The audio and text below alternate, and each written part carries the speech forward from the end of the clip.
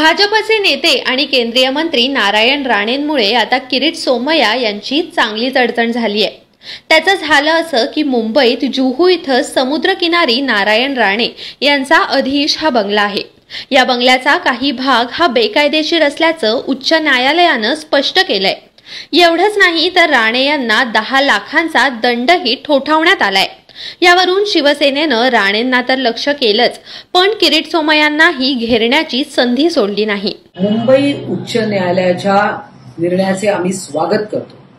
नारायण राणे यांचा जो जुहू मध्ये बंगला आहे त्याचा बेकायदेशीर भाग तोडण्याचे आदेश व दहा लाख रुपये दंड भरण्याचे आदेश जो दिलेला आहे तो सत्तेच्या अहंकारापुढे न्याय व्यवस्थेपुढे सर्वांना झुकावेच लागते हे दर्शवून देणारा हा निर्णय.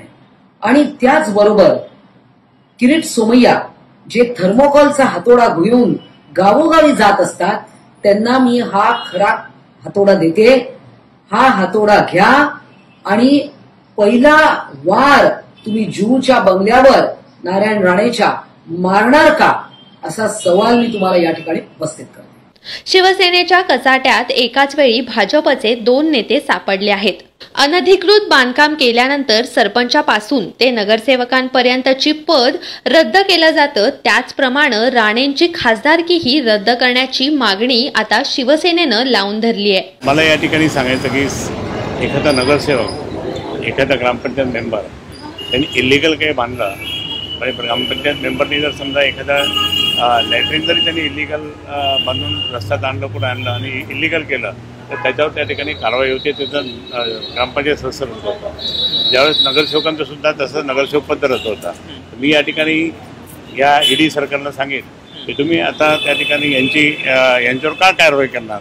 किंवा मग केंद्र सरकारला आम्ही विचारू की तुम्ही अशा मंत्र्यांनी त्या ठिकाणी इलिगल केलेलं आहे. मग त्यांची खासदारकी रद्द होणार की नाही होणार? खासदारकी सुद्धा रद्द झाली पाहिजे. दहा लाख रुपये फाईन म्हणजे ते एकदम संपले ते. आणि मी एकच सांगतो शिवसेना प्रमुख मान्य बाळासाहेब ठाकरे यांची शिवसेना. मान्य उद्धवजी ठाकरे यांच्या नेतृत्वाखाली आम्ही काम करतो.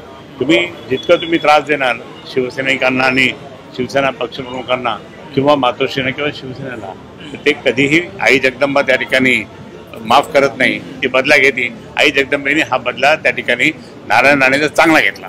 नारायण राणे आणि किरीट सोमय्या यांनी वेळोवेळी मातोश्री आणि शिवसेनेला लक्ष केलं आहे. त्यामुळे संधी मिळताच शिवसेनेनंही आता या दोन्ही नेत्यांभोवती फास आवळला आहे. शिवसेना नेते अनिल परब यांचं दापोलीत अनधिकृत रिसॉर्ट असल्याचा आरोप सोमया यांनी केला होता.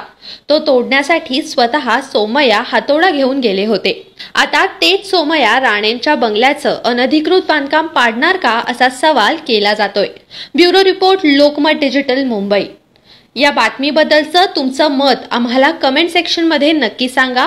त्याचसोबत अशाच ताज्या बातम्या आणि नवनवीन अपडेटसाठी लोकमत डिजिटलच्या फेसबुक पेजला लाईक करा यूट्यूब चॅनलला सबस्क्राईब करा आणि बेल आयकन प्रेस करायला विसरू नका.